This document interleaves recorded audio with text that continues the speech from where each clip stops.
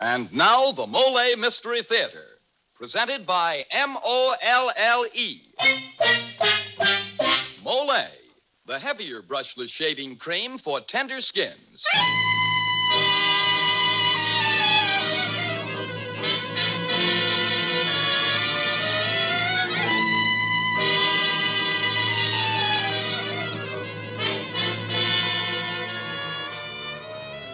Good evening. This is Geoffrey Barnes, welcoming you to the program that presents the best in mystery and detective fiction. Tonight we bring you a story that is, in my opinion, the greatest modern mystery classic of them all. Emlyn Williams's famous play, Night Must Fall.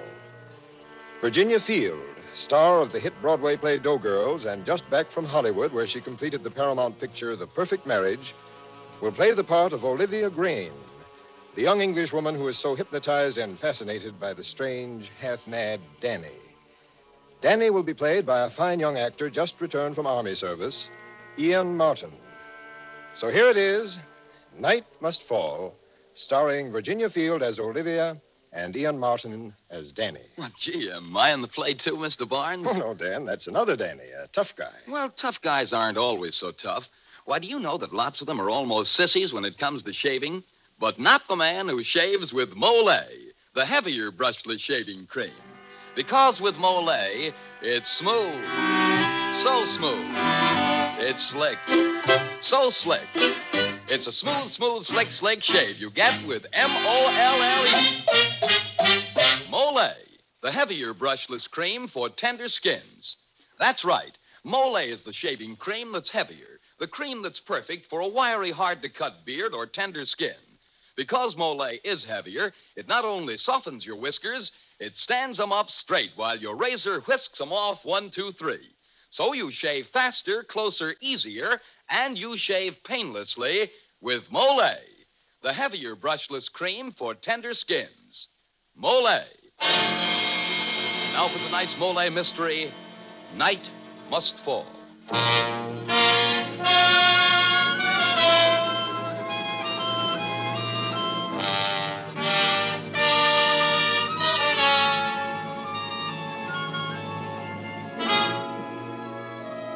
In the sitting room of a cottage located in a forest of Essex, England, sit three people. Mrs. Bramson, owner and mistress of the cottage, is in a wheelchair. Reading to her from a newspaper is Danny, Mrs. Bramson's houseboy and general handyman. Apart from these two, and apparently lost in her own thoughts, sits a young woman, Olivia Grayne, Mrs. Bramson's niece and paid companion. The murderer committed the crime in the forest. He buried the woman's body shallow in the refuse heap behind the cottage of one Mrs. Bramson, who. And to think if my maid hadn't found her, that woman might still be lying there. Uh, think of that, Olivia. Uh, Olivia! Hmm? Oh. Oh, I'm sorry, Auntie. I'm afraid I wasn't listening. Oh, must you just sit there and stare out of the window? What are you dreaming about? I was just thinking. I often wonder, on a very fine morning like this, what it'll be like for night to fall. I never can, yet it's got to. You'd do better thinking about catching a husband. Where's that man of yours, that Hubert Laurie? Oh, he's off for a walk, I suppose. Shall I read some more, Mum? Uh, oh, yes, dear. Attempts had been made to eradicate fingerprints with a knife. The head had been severed by a skilled person, possibly a butcher. Oh, dear, my heart's beating like anything. Uh, no more, Danny, no more. No. All right, Mother of mine. It's time for your afternoon stroll anyway. Off to your room and make yourself pretty for your Danny boy. Oh, yes, dear, I won't be a minute. Oh, you needn't wheel me, Olivia. Heaven knows you nor anyone else gave me any attention until Danny came to the scene. Hurry back, Mother of mine. I'll have your pills and chocolates ready. What's so funny? I don't know. Rummy old lady. Why'd you whistle that song so much? Why not? I am a pretty little fellow. The papers say that on the day of the murder, an unidentified man was heard walking through the forests singing that song. You know, you wouldn't be bad looking without them glasses. Are you playing up to my aunt? Playing up. After her money, I mean. Huh, You stand a pretty poor chance there, you know. Hmm, what do you bet? You never take that cigarette out of your mouth? Oh, you don't like me, do you? No. Everybody else does. You're very conceited, aren't you? Yes. And you're acting all the time, aren't you? Acting? Acting what? Look at the way I can look you in the eyes. I can stare you out. I have a theory. It's the criminals who can look you in the eyes, and the honest people who blush and look away. Oh, You are acting, aren't you? yes. Yes, I am. You you worked at that summer resort where the murdered woman lived, didn't you? Oh, yes, I used to take cigarettes and drinks to her. She was a very lively one. She. I got to go now. Mrs. Bramson will be waiting.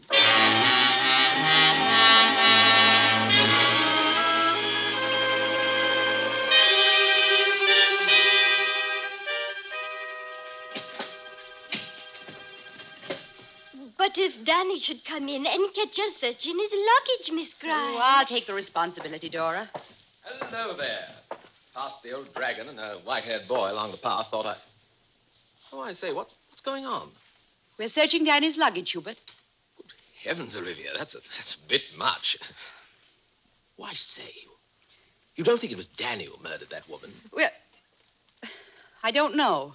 But it, it was such a clever business. They still haven't found her head, you know. And he's uh, such an ordinary chap. Yes, that's just it. And then suddenly he. He's so extraordinary. Nothing much here, Mum. Just a wallet with a letter inside it. Oh, let's see. Dear Babyface, my own. Next time you strike Newcastle, okay by me, baby. Signed Lil. Hmm. This is the last bit of luggage, Mum. Shall I open it? Luggage? Looks more like an old fashioned hat box. Made of leather. hmm Heavy, too. It's locked, but I think I can open it. Wait a minute, wait a minute, Hubert. What's up? Well, suppose there. there is something in it. By Jove, I never thought of that. Well, Open it. Go ahead. Those are my things. Oh, by Danny. Could I have it back, please, sir? My wallet, I mean. It's the only one I got. Oh, th- this? Oh, yes, of course. Well, what did you think of the letter? Letter? Well, you have it in your hand. Means well, there's little but we had a row she would spy on me. And if there's anything I hate, it's spying. Don't you agree, sir? Yes. I'd sooner have anything than a spy. Bar a murderer, of course. What did you say? Bar a murderer, of course. Olivia, uh, you better deal with all this. It's it's beyond me. And I'll be getting back to the kitchen, Mum. You were acting again, weren't you? Is. Is there something in that hat box? yes. A hat, maybe? Did you do it? Did you do it? Look outside. It's growing dark. Soon we'll have dinner, and Dora will be off to church for evening meeting, and dear Mr. Laurie will be gone. And the dark will come down, blacker and blacker.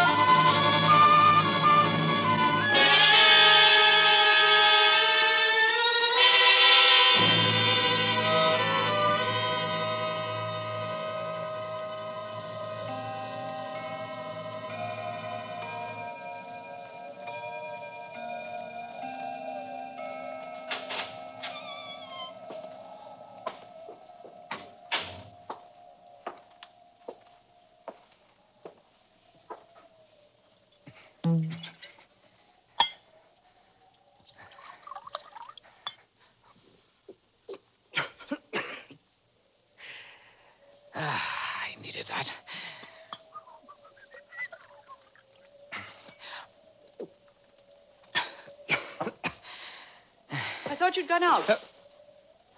What, you? Well, you're the quiet one. I've been drinking and I feel fine. Have one? I prefer talking. Oh, talking's daft.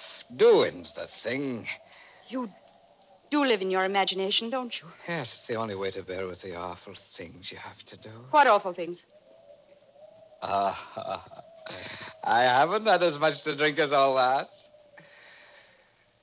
What was your life like at that summer resort? Why are you always concerned with me and my doing? I'm not. It's just that you never talk about it. My life? Yes.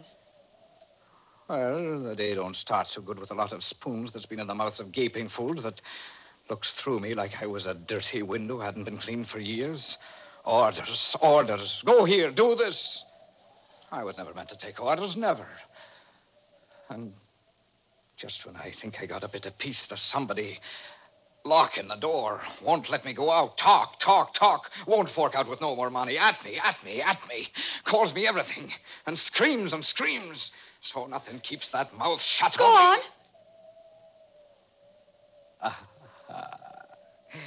I'm too fly for you. You'd like to know, wouldn't you? Why do you lie awake all night? I don't. I sleep. I sleep. Oh, no, you don't. And I'll tell you why. Because there's one thing that keeps you awake. Be quiet. One thing you've pushed into the back of your mind, and you can't do any more about it, and you never will. No. And you know what it is? It's a little thing. A hat box. No. Only a hat box, but it's rather heavy. Stop it! Stop it! It's the. It's the only thing that keeps me awake. Mind you, the only thing. But I don't know what to do. You see, nothing worries me, nothing in the world, only. Only I don't like the pair of eyes staring at me with no look in them. I don't know what to do. I don't know. Oh, oh. Oh, oh, please. Please. Oh, Anybody home? it's that man from Scotland Yard who was here before. Inspector Belsize. All right. I'll deal with him. I'll manage myself all right. You watch me.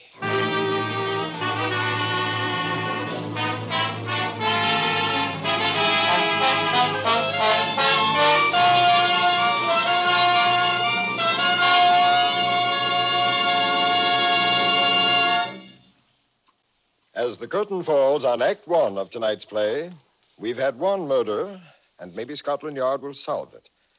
But one murder often leads to several more. And who knows, maybe this is the night. Why, Mr. Barnes, sounds like you've been looking over my shoulder. How so, Mr. Seymour? Well, look, right here on this piece of paper in my hand, it says, Men, when morning brings murder because you have to shave, chances are you have wiry whiskers or a tender skin. So try Molle, the heavier brushless shaving cream for tender skins. Why, Molle gives you a shave as smooth as flying, as trim as a top. Yes, Molle is a heavier cream. The cream that not only softens your whiskers, but holds them up straight as ten pins while your razor cuts them close and clean. With Molle, you shave faster, closer, easier, and you shave painlessly. Try it. See if you don't say, it's smooth, so smooth, it's slick, so slick. It's a smooth, smooth, slick, slick shave you get with M O L L E. Molle, the heavier brushless shaving cream for tender skins. Molle. And now back to Geoffrey Barnes and Act Two of Night Must Fall.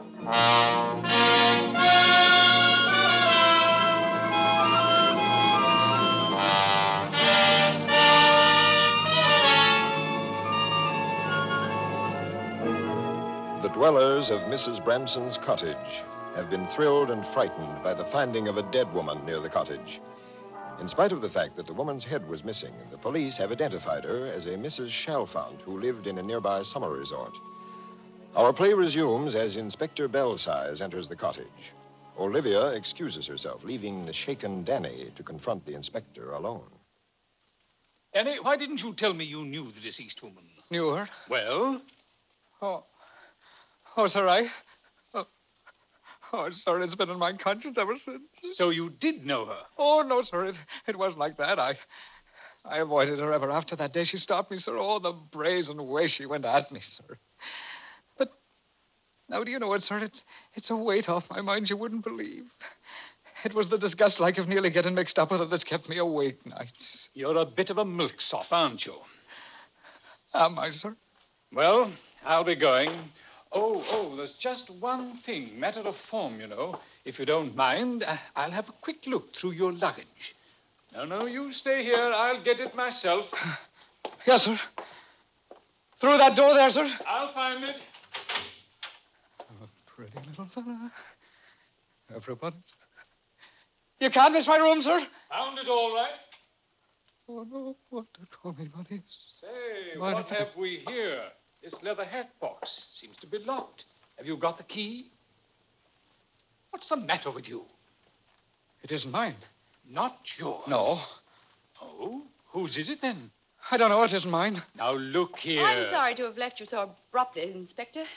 Could I get you some tea? Oh, uh, uh, not now, Miss Grayne. Now, damn if this isn't yours. Why, Inspector, what, what are you doing with my hat box?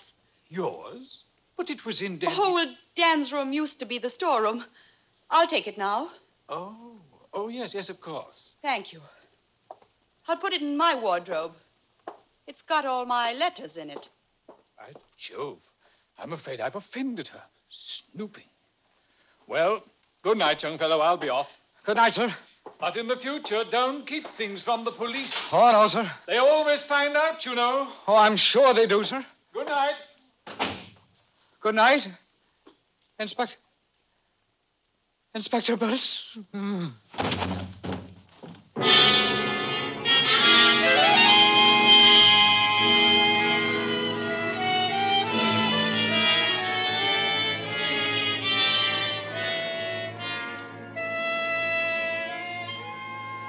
And I tell you, Mum, when I walked in from church and saw Danny lying on the floor, everything went topsy-wopsy. I can't understand it. I, I guess the poor boy's been working too hard. Well, I'll be running along now, Mum.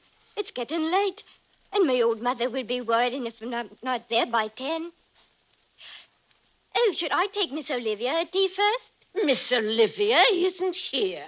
She's left. She left. Yes, some ridiculous nonsense about not spending another night here. Seems she made arrangements to stay with Hubert Laurie and his sister, if you please. But, Mum, there has been a murder. Well, I've got Danny to look after me. He's strong as an ox and, and no silly nerves about him. Well, good night then, Mum. Good night, Dora.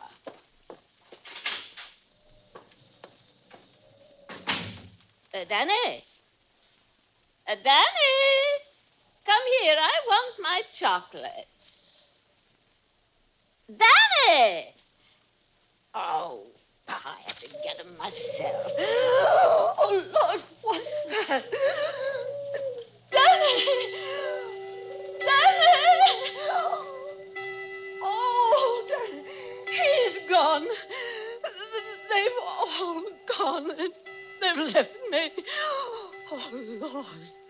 Oh, Lord, help a poor woman. I, I, I'm going to be murdered. I, I'm going to be murdered. I, who's there? Who's there? All right, mother of mine. Oh. It's only me, Danny. Danny.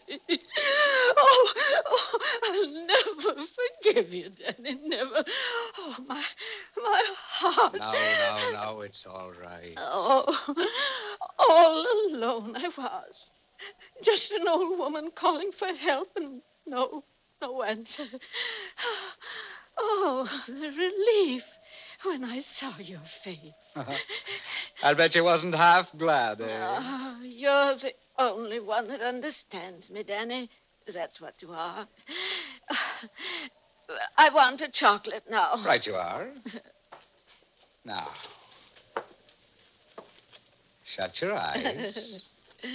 Open your mouth. Oh. Oh, Danny.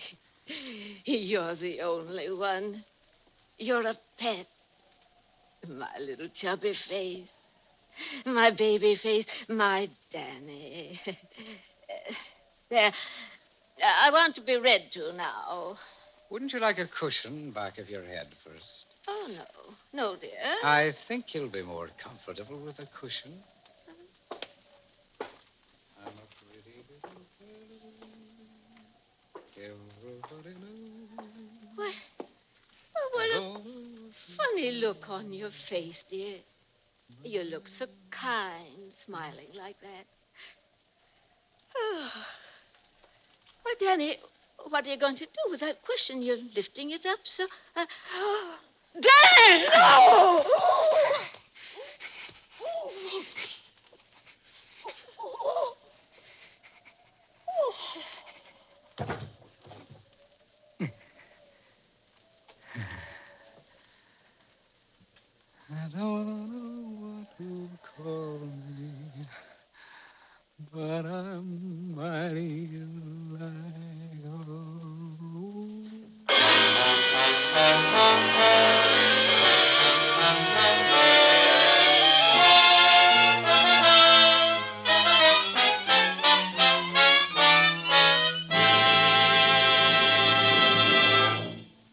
This is Geoffrey Barnes again. In just a moment, we'll return you to Act Three of Night Must Fall. You can't fight dandruff effectively with plain water, for all plain water does is remove loose dandruff, and it's exactly the same with most ordinary preparations for the hair. But one product that really does more is double danderine. It truly works where so many others fail. This is because double danderine does what such products can't do. It actually kills on contact the germs that many outstanding authorities contend are a cause of a common type of dandruff. You see, double danderine contains an active antiseptic called Alzan, and it's this special ingredient used by many hospitals because of its remarkable efficiency that makes double danderine so amazingly effective. Remember, no other hair preparation contains Alzan. You get it only in double danderine. So try double danderine and see if you don't agree that most ordinary hair preparations can't compare with its dandruff combating effectiveness. If you're not satisfied, return the empty bottle and get your money back. Buy double danderine at your druggist's.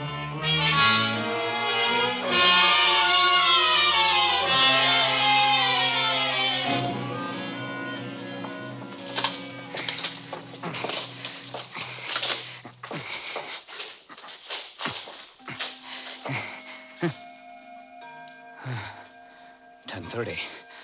I must hurry. Hurry and break up this chair. Then the fire. And they'll think she died in it. Who's there? Oh. You've come back. I. I've never seen a dead body before. I nearly fell over it in the hallway. Like a sack of potatoes. I thought it was at first. I came back expecting. I, I don't know. And here I find you smoking a cigarette. It's so ordinary. What did you come back for? To find you out. I've read a lot about evil. I never expected to come across it in real life. Oh, you didn't ought to read so much. I never got through a book yet, but I'll read you all right. Read me. Your mind. You haven't had a drop to drink yet. You feel as if you had. You never knew there was such a secret part inside of you. All that book learning and moral me eye here and social me eye there. You took that off of the edge of the wood, same as if it was. as if it was an overcoat. And you left it there. Oh, I hate you. Hate you. Oh, no, you don't. You feel the same as I do, sometimes excited and, and light as air. Why, this is my big chance. You're the one I can tell all about myself. You said just now murder's ordinary. Well, it isn't ordinary at all, see? And I'm not an ordinary chap. There's one big difference between me and other chaps that try this game. I'll never be found out. The world's going to hear from me. You wait. But you can't wait, can you? You, you mean you're you're going to? Yes. Aren't you frightened? You ought to be. Don't you think I'll do it? Sorry. I know you will. I just can't realize it. You see, I make up my mind to do a thing, and I do it. And I'm going to take care of you right now. What's that light in here? It's a light in the woods. Somebody's shining in here.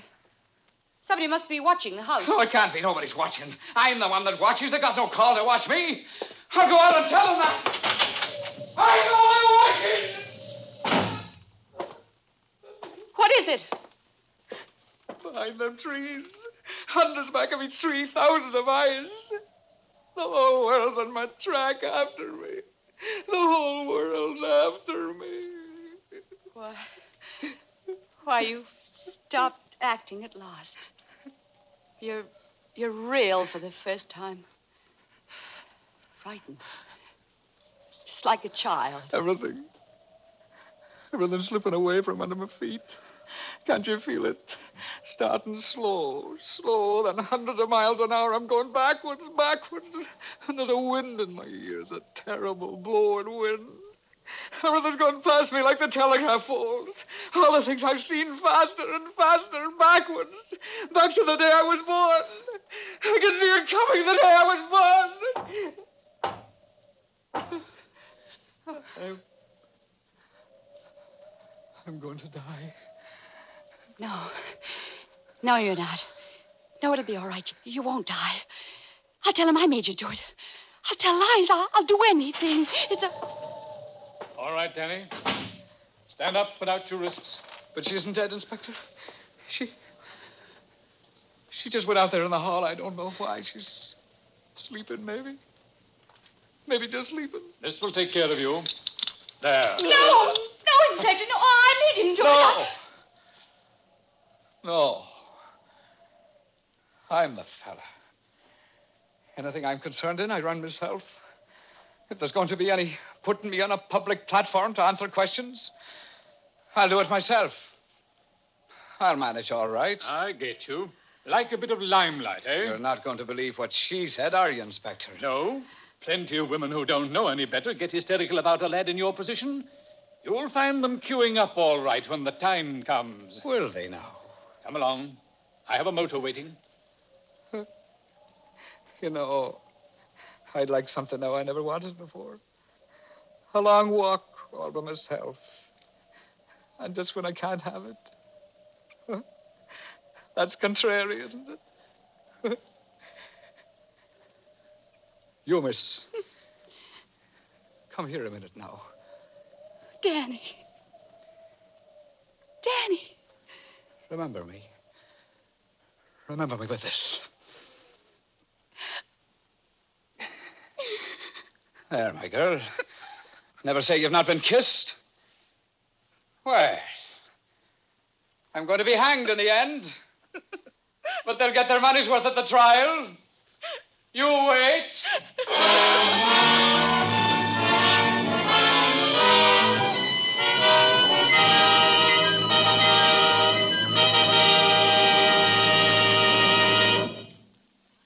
The original music for the Molle Mystery Theater is composed and conducted by Alexander Semmler. Night Must Fall was written by Emlyn Williams and adapted for radio by Don Agger. Virginia Field and Ian Martin were starred in tonight's program. And now this is Dan Seymour saying good night until next Friday at this same time when the Mystery Theater presents a rollicking mystery comedy, Follow That Cab.